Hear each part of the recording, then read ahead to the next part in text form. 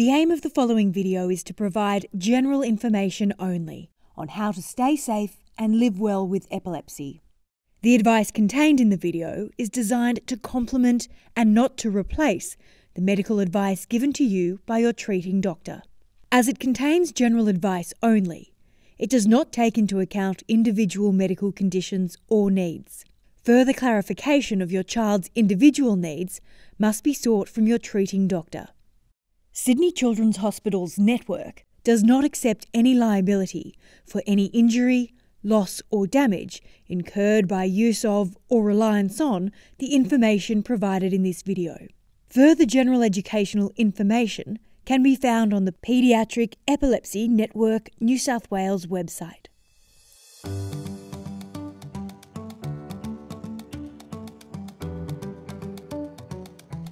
Living a happy and active life is good for everyone. Spending time outdoors and doing things you enjoy are important for mental health and well-being. As well as having fun, it's also important to know how to stay safe and minimise risks.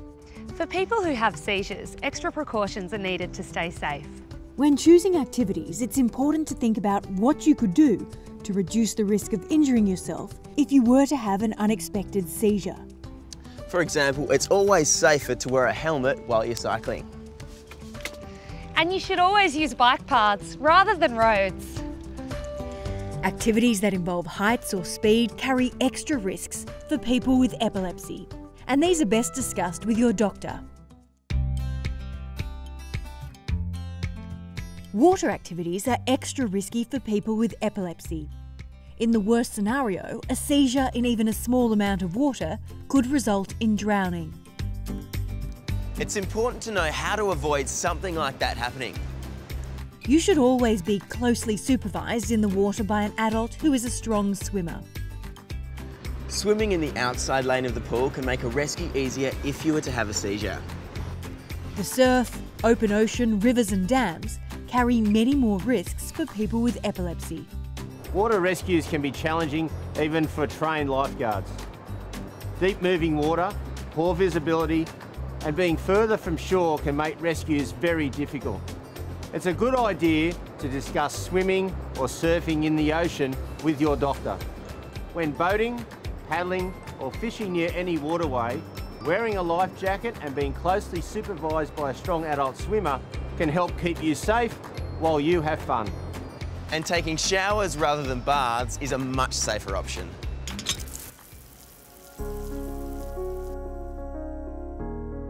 Being a teenager involves lots of new experiences and challenges.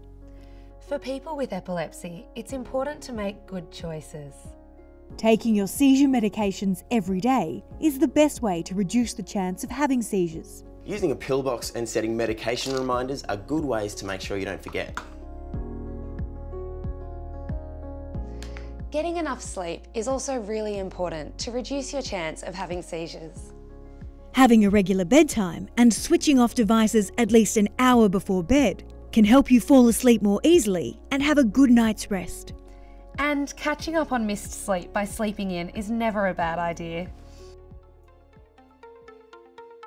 Drugs and alcohol don't mix well with epilepsy. Alcohol can interact with epilepsy medications in unpredictable ways and can increase the chance of seizures, especially binge drinking. Street drugs are illegal in Australia and carry even greater risks for people with epilepsy. It's best to avoid them altogether.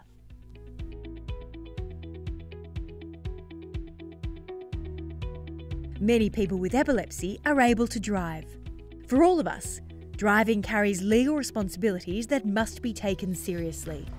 If you have epilepsy, there are additional legal requirements and conditions you have to meet before you can obtain a special licence called a conditional driver's licence. The special legal conditions for the conditional licence indicate you must be seizure free for 12 months, be reviewed by your treating doctor at least annually, continue to take anti epileptic medication as prescribed, ensure you have adequate sleep and do not drive when sleep deprived. And avoid circumstances or the use of substances that are known to increase the risk of seizures.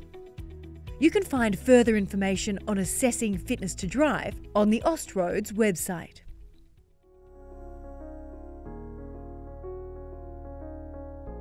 Everyone can feel down or get worried at times.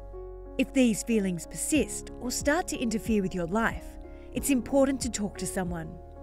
There are many supports available if you need them.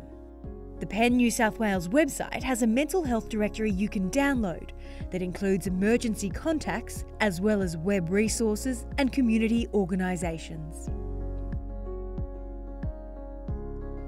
It may be many years before you hope to start a family, but for people with epilepsy, it's a good idea to plan ahead. The vast majority of women with epilepsy will have normal pregnancies and deliveries. It is true that women taking epilepsy medication have a somewhat higher risk of having a child with a birth defect, but this risk is overestimated. It is the epilepsy medication that is the main cause for this risk. However, we do know that some medications are fairly safe and others should be avoided. It is therefore important that you talk with your doctor early about future pregnancies and that you plan ahead. By involving your neurologist and other treating doctors early, Medication can be reviewed and changed if necessary. It is important to remember that more than 95% of women with epilepsy will have healthy babies. If you do become pregnant, it's important you don't stop taking your epilepsy medication and let your doctor know straight away. The medication is there to keep you and your baby safe by preventing seizures. Involving an obstetrician to closely monitor and care for you and the baby is important once you become pregnant. Some epilepsy medications lessen the effect of the oral contraceptive pill or other forms of birth control involving hormones. This can lead to pill failure, meaning you could have an unexpected pregnancy despite using contraception. Women on epilepsy medication should discuss contraception with their GP or neurologist. Some seizure medications that can interfere with the pill include Tegretol, Dilantin, phenobarbital, Mysoline, Topamax, Trileptal, and Lamictal. If you are on epilepsy medication and you are planning to use the contraceptive pill or any other form of birth control involving hormones, you should speak with your doctor. Many people love to travel. For people with epilepsy, it's important to seek medical advice before you go. Some important things to think about include ensuring you carry a medication supply for the duration of the trip, have a plan on phasing medication doses if crossing time zones, avoid sleep deprivation, especially when crossing time zones, and know how to get medical help at your destination.